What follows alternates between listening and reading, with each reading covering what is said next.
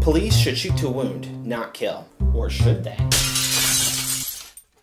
After every police shooting, there's just non-stop complaints within our society. Why didn't he just shoot him in the leg? Could have tasered him. Well, it's not safer.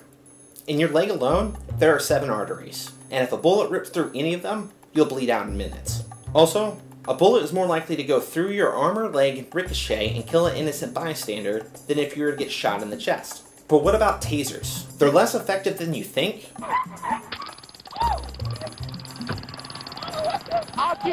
And they're not supposed to be used on the chest. This is why, since 2000, police have killed over 1,000 people with tasers. It is unfortunate that our police killed over a thousand people last year. But for some perspective, we have about the same amount of doctors as we do cops, and through negligence, doctors killed 215% more people than cops did last year. Now, with all that being said, do you still think cops should shoot to wound instead of kill? Let me know in the comments below.